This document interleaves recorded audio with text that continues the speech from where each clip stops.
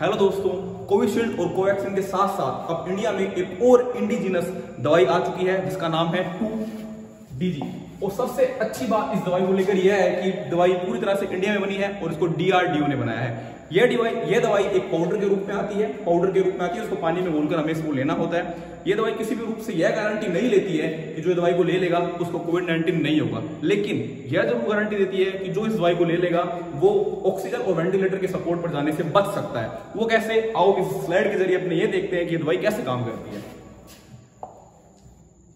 इस स्लाइड में आप देख रहे हो, ये जो रेड वाली जो ये सेल्स हैं, ये कोविड 19 से इंफेक्टेड सेल्स हैं।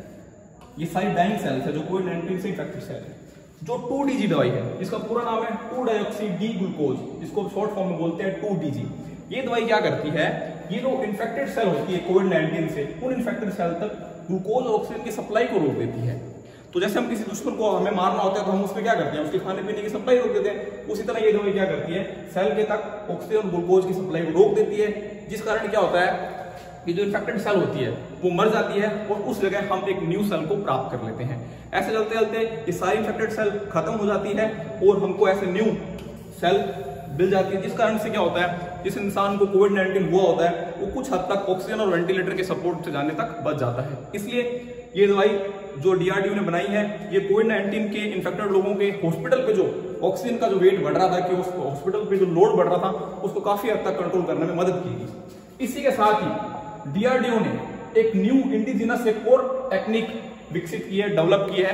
इसका नाम है एटमैन ये टेक्निक क्या करती है? पहले कोविड 19 का जो सस्पेक्टेड पेशेंट होता था, उसमें कोविड 19 की जाँच करने के लिए उसको या तो आरटीपीसीआर टेस्ट कराना पड़ता था या सिटी स्कैन कराना पड़ता था। दोनों ही कॉस्टली और एक बहुत लंबा प्रोसेस है। आरटीपीसीआर में टेस्ट कराने के 10 घंटे बाद रिपोर्ट आती है।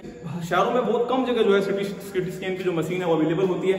तो हर कोई इंसान वहाँ सिटी नहीं करवा पा रहा था। इसलिए डीआरडीओ ने एक नई टेक्निक विकसित की जिसका नाम है एटमैन इस टेक्निक में ये कैसे काम करती है? स्लाइड के ज़रिए हम सीखते हैं।